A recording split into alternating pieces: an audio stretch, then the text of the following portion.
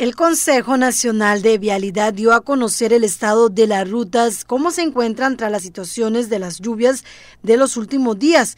A continuación le brindamos el reporte para que usted lo tenga en cuenta en la región Brunca de Costa Rica. En el Cerro de la Muerte, en el kilómetro 104, vuelta a las monjas, en el kilómetro 107 en el sector de división y en el kilómetro 119 de Tolomuco, más conocido como Macho Mora, en esos tres puntos hay paso regulado por la limpieza, derrumbes y un bacheo que se realiza en dos sectores por agrietamiento de la estructura de asfalto. También tome en cuenta que se mantiene cerrado de manera preventiva de 6 de la tarde y hasta las 6 de la mañana. Si hablamos del tramo entre Palmar Norte y Buenos Aires de Punta Arenas, también en la ruta 2, en el kilómetro 211 Cataratas hay paso regulado. En el kilómetro 235 también hay paso regulado. Los derrumbes en esas estaciones se mantienen, pero el paso está abierto. Se continúa removiendo con maquinaria del Ministerio de Obras Públicas y Transportes. En el sector de la Esperanza de Río Claro hay paso regulado, esto en el kilómetro 319. La calzada está en buen estado mientras no haya aumento del caudal del río Claro. La recomendación en este caso es el cierre preventivo de ambos carriles si atraviesa mucha agua procedente del río. En el kilómetro 301, Puente Río Esquinas, hay socavación en relleno, por lo tanto se mantiene cerrado el carril. En el kilómetro 292, Puente Río Piedras Blancas, hay deslizamiento del relleno, paso cerrado en carril izquierdo por prevención.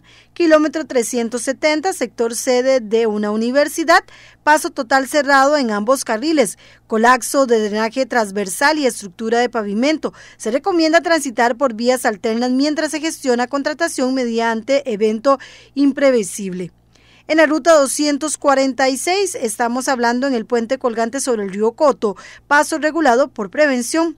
En la ruta 625 entre Maíz de Boruca y Colinas hay paso habilitado.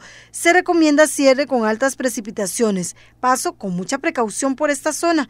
Ruta 34, alcantarilla en el sector de Tagual. La alcantarilla continúa aterrada, aunque sin riesgo de que el material inunde la calzada ya que las precipitaciones han disminuido. En la ruta 245 hay varios puentes importantes. Sobre el río Tigre, socavación del relleno de aproximación. Paso regulado, cierre en carril izquierdo, sentido Cañaza, Puerto Jiménez. El puente sobre el río Corozal, socavación y pérdida de estabilización global de Bastión paso cerrado no circular por la estructura hasta nuevo aviso y puente sobre el río Tamales, daño por oxidación en elementos de acero, pila y vigas principales. Paso cerrado no circular por la estructura también hasta nuevo aviso. Esto es importante para los conductores que requieren esa zona. En la ruta 608, puente sobre el río Claro, con presencia de precipitaciones, el nivel del cauce sobrepasa la losa de ruedo y elementos de la cercha superior.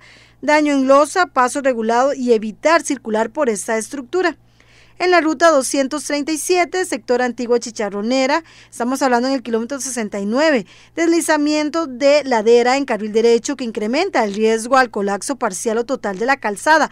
Paso regulado, cierre de carril derecho, sentido Agua Buena, Ciudad Neily.